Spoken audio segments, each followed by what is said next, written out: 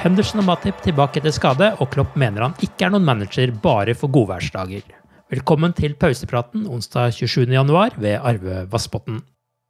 Vi starter denne daglige oppsummeringen av de siste 24 timene med Liverpool med Jørgen Klopps pressekonferanse foran kampen mot Tottenham på torsdag. Etter tirsdagens kamper er Liverpool nå nede på femteplass på tabellen, etter å ha blitt passert av Westham. Westham har nå én kamp mer spilt enn Liverpool. Manchester City har på sin side tatt over tabelledelsen for første gang denne sesongen, etter at de vant 5-0 mot West Bromwich. City har 41 poeng på 19 kamper, noe som er ett poeng mer enn byrival United og sju poeng mer enn Liverpool. På pressekonferansen fikk Klopp naturligvis spørsmål om tabellsituasjonen og Liverpools dårlige form. General, the general situation is a challenge, and a challenge is good. I'm not the person who sits here and thinks my life should always be perfect and my team has to win all the football games. If something is going wrong, you have to work on it. That's what we are doing. We started already while ago and, and change things and, and, and try to improve and all this kind of stuff. And we will stay on that. We will, we will stay on track. We will do that and do that and do it. We will be really annoying and we will fight hard and um, we will be positive with the positive things and we will be critical with the not so positive things. That's what we do. And I know people expect me to be in a bad mood or whatever. I'm not. I take the situation like it is and go out and make sure that we are ready for a fight. And we will be ready for a fight tomorrow night. But it will lead us to, I don't know in a month's time, a lot of things can happen again. And we want to make sure that there's then, if we talk then about the last month, it's much more positive than this last month. And I know it's easier in, in the high flying times to believe in what you do. But I'm not a, only a good weather coach. I was never. Både Jordan Henderson og Joel Matip er tilbake i full trening med laget og aktuelle for kampen mot Tottenham. Om begge starter kampen torsdag, vil man kanskje se kapteinen tilbake på midtbanen, i motsetning til hans to siste kamper, der han har vikariert på midtstopperplass. Å få Henderson tilbake på midtbanen kan i så fall være gode nyheter.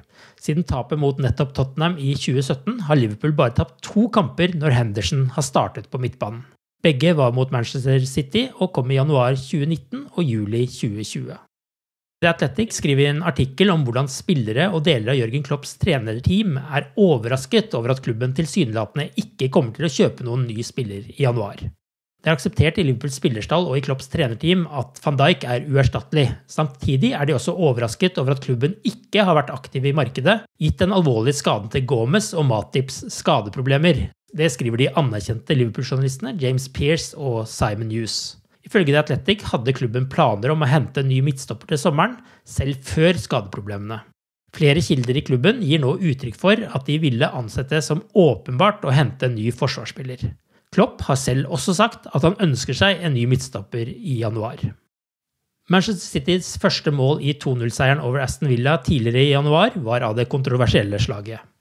Rodri kom fra offside og snappet ballen fra bortelagets Tyron Mings, før han spilte videre til Bernardo Silva, som satte inn den avgjørende skåringen. Etter kampen førte dommeravgjørelsen til voldsomme diskusjoner, og nå skriver Daily Mail at dommerstanden, etter å ha gått gjennom saken, har valgt å endre regelen. Si at hvis en lignende situasjon skulle oppstå igjen, vil det heretter bli dømt offside på spilleren. I would say finally we changed that because it makes no sense and um, uh, it was just with all I mean all football people and both sides the one who scores the goals and the side who, who, who concedes the goals are, agree that it's like huh? how can we solve that it makes it really difficult um, then something is wrong and I'm really happy that they finally changed it Når Liverpool er vertskap for Chelsea i Premier League den 20. mars, vil Jørgen Klopp få bryne seg på en gammel kjenning.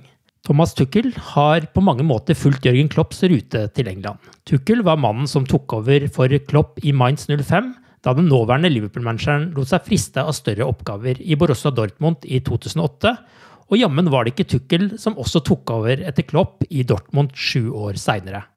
Klopp ønsker sin landsmann lykke til i Chelsea, men er også kritisk til Chelsea-eier Roman Abramovic sin tålmodighet med managere. Frank Lampard lost his job, and I have to say I, uh, that's a really tough one, to be honest. Um, I think that Chelsea did an incredible job in the transfer market this summer, brought in really good players, and things like this need time. It's uh, really harsh to make the decision that early, but obviously Mr. Abramovich uh, gives you some chances, money, players, whatever, but is not the most patient person in the world, obviously. This Chelsea squad is a present, eh? So, and um, I'm pretty sure Thomas sees it like that. And um, so, yeah, they will, they will be good. Du har akkurat lyttet til pausepraten det siste døgnet med Liverpool fra Liverpool supporterklubb Norge. En nyhetssending som legges ut på alle hverdager. For flere nyheter, besøk liverpool.no.